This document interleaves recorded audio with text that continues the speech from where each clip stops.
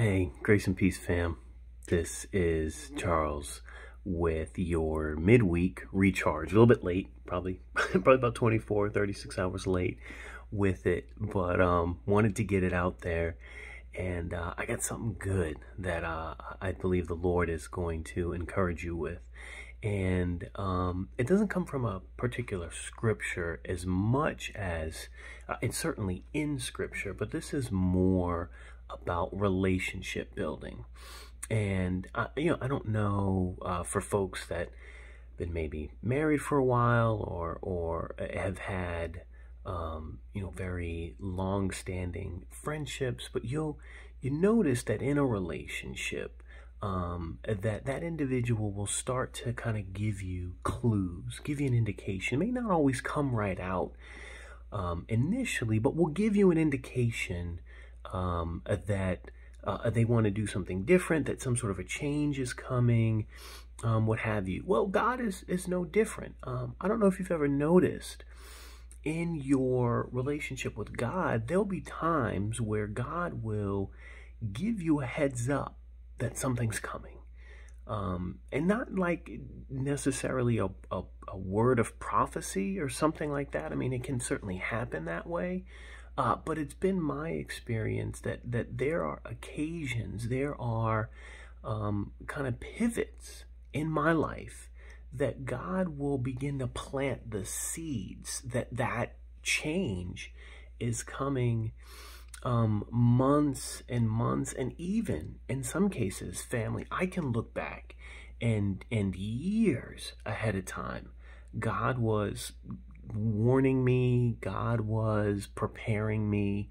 Um, god was was uh, giving me a heads up that this thing is coming. And that that's that's our recharge for this middle of the week is to to really pay attention, to be open to the leading and the urging and the voice of God. And, and to acknowledge and recognize when your spirit has identified that something's coming, that a change is coming, um, and to embrace it, to embrace it, to be prepared for it. Um, you know, I'll often say that God is, is not going to contradict him, himself. God, you know, God um, is not double-minded. You know, God is not a hypocrite. And at the same time, uh, you know, God uh, absolutely is is is a is a a a, a, not a stale God. Thank you. That not a stale God, not a stagnant God. God is a God of motion. God is a God of progress. God is a God of movement.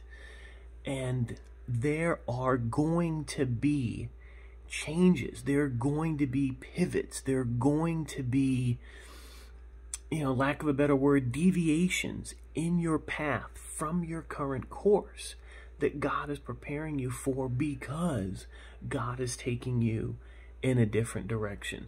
God is taking his body, his bride, in a different direction. The, the church absolutely needs to be paying attention and needs to be open and needs to be listening to the voice of God. We make a mistake if our only communication, if our only interaction, if our only revelation from God comes from Holy Scripture.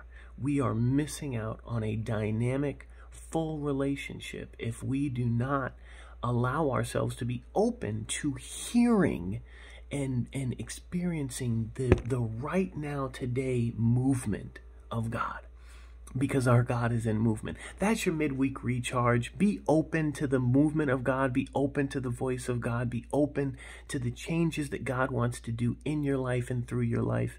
And be encouraged by that. Take some time and, and, and allow it to confirm itself.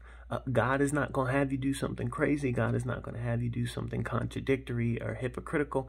And God will give it time to solidify. God will give it time to take root because our God is not a God of, uh, uh, uh of, of hypocrisy.